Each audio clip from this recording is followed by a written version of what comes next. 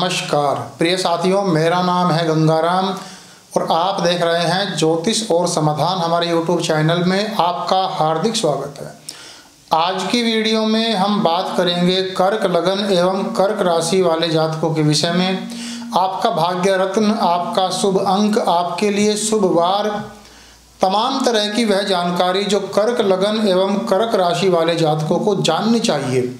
जैसे कि आपका भाग्य मंत्र कौन सा है? कौन से देवता की उपासना करके आप अपने कैरियर में और शिक्षा में चल रहे स्ट्रगल से बाहर निकल सकते हैं। ज्योतिषीय मापदंड क्या है? शास्त्र क्या कहता है? तमाम तरह की बातें कर्क लगन एवं कर्क राशि को लेकर के आज की हमारी परिचर्चा होगी।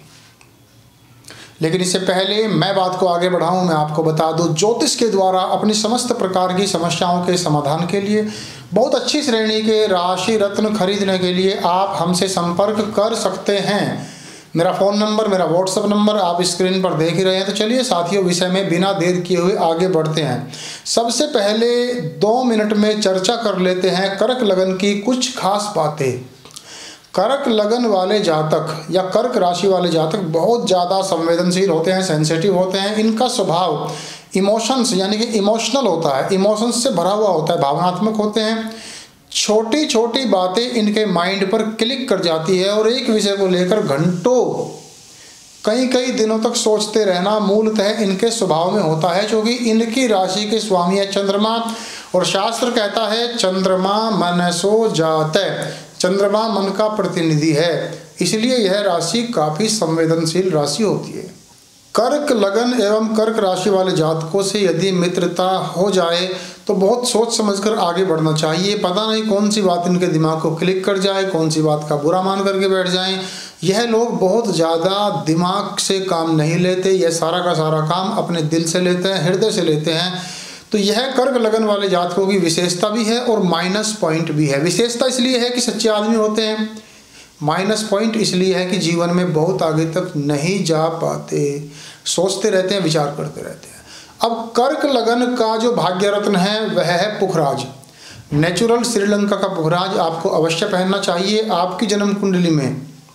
यदि बृहस्पति की स्थिति कमज़ोर है बृहस्पति अति बाल्यावस्था में है अति वृद्धावस्था में है मृत अवस्था में है, पाप दृष्ट है, पाप योग में है, पाप कर्तरी योग में है। तो अब आपको अपने कैरियर में सैकड़ों बाधाएँ देखने को मिलेंगी और यदि आपकी जन्म कुंडली में बृहस्पति मज़बूत हैं डेफिनेटली आपके सारे काम अपने आप कम परिश्रम में ज़्यादा फल आपको मिलता है। यदि आपकी जन्म कुंडली में बृहस्पति की स्थिति कमज़ोर है तो आपको एक अच्छे ज्योतिषी की सलाह से पुखराज रत्न अवश्य धारण करना चाहिए। एजुकेशन में, आपकी शिक्षा में आ रही दिक्कतों में आपको मूँगा पहनना चाहिए, क्योंकि मंगल आपकी राशि से पाँचवें घर के स्वामी होते हैं, करक, सिंह, कन्या, तुला, वृश्चिक। मंगल पाँचवें घर के स्वामी होते हैं तो उच्च शिक्षा प्राप्ति के लिए, संतान प्राप्ति के लिए, पुत्र प्राप्ति के लिए मंत्र सिद्धि के लिए, साधना में सफलता के लिए आपको मूँगा रत्न धारण करना चाहिए। यह रत्न आपके लिए बहुत ज़्यादा एनर्जेटिक और माइंड को शक्ति देने वाला होता है। बात करते हैं शुभ वार की। मंगलवार, सोमवार और गुरुवार, यह तीन वार आपके लिए बेहद शुभ हैं। शनि देव चूँकि आपकी कुंडली में मारक हैं डिजास्टर हैं, सातवें घर के स्वामी हैं तो शनिवार आपके लिए बहुत शुभ नहीं है। कोई भी बड़ा काम, बड़ा लेन देन रजिस्ट्री आदि कोई बड़ी खरीद बेच, आप बिल्कुल भी शनिवार के दिन न करें, यह आपके लिए गलत साबित हो सकता है।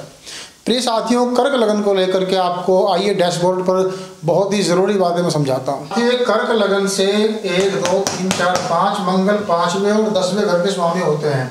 अपने कार्य को विस्तार देने के लिए और शिक्षा प्राप्ति के लिए आपका मौका बनता है।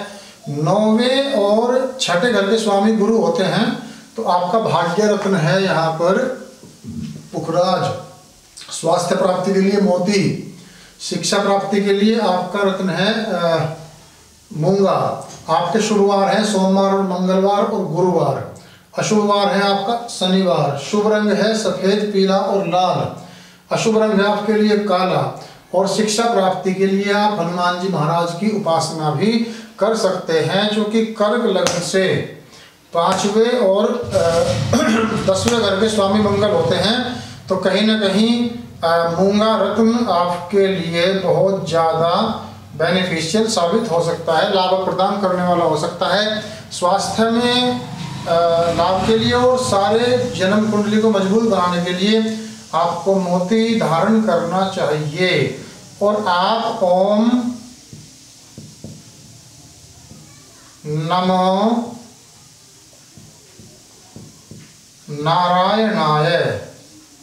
यह मंत्र का जाप करें, जब भी आपको, आपके जब भी आपको कैरियर में कोई दिक्कत है टेंशन है, तनाव है, आप व्यापारिक समस्याएँ हैं, आपको बड़ी बड़ी समस्याएँ जीवन में आ रही हैं तो आप ओम नमो नारायणाय, इस मंत्र का जाप करें, पूर्णमासी का व्रत करें, भगवान विष्णु की आराधना करके आप बिल्कुल नो डाउट सभी प्रकार की समस्याओं से हमेशा के लिए बाहर आ सकते हैं।